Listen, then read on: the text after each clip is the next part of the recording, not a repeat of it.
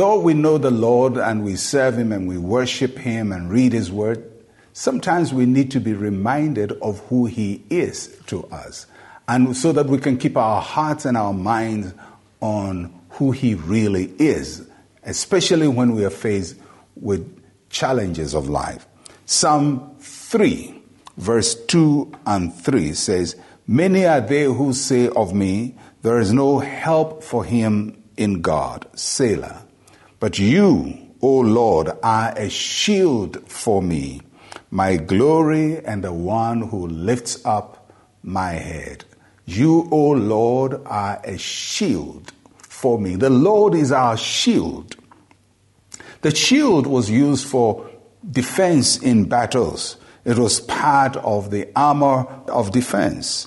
Apart from the shield, there were other uh, items of defense in the days of David uh, that warriors would use to protect themselves. They had the helmet, which protected their head from being hurt. They had the breastplate that protected them, and they, they were defended by these. But all of these uh, items of defense were stationary. The helmet only defended the head, the breastplate only defended the chest area, but the shield was an all round defender. It defended you at the top, it defended you in the middle, it defended you at the bottom, it defended your back, it defended you on all sides. And so God presents himself as a shield, not just as a breastplate, uh, but as a shield. He's your all round defender.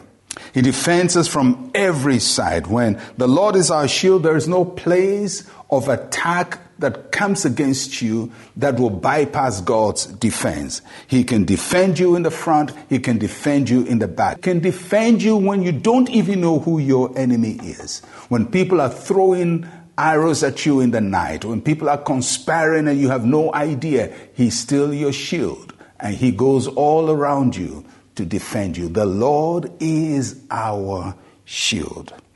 And the psalmist says, Many are they who say of me, There is no help for him in the Lord, or no help for her in God. There are times in our lives when people see the kinds of attacks or the kinds of challenges facing us, and they just say, Oh, there's no hope for him. Uh, he's finished. She's finished. This is the end. Uh, nothing good will come out of this. And when people say that about you in those instances, when it looks like you are so exposed and you are about to be destroyed, then the psalmist says, The Lord is my shield.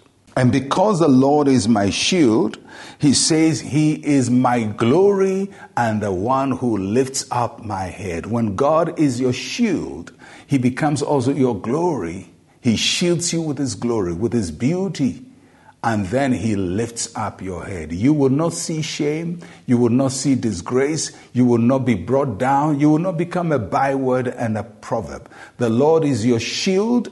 He is your glory and the one who lifts up your head. I don't know what people have said about you. I don't know how they've determined how the outcome of your life is going to be. But the Lord is your shield. He's your all round defender, and He will not abandon you. It's going to be good for you. I'm Pastor Mensa Otabil. Shalom, peace, and life to you.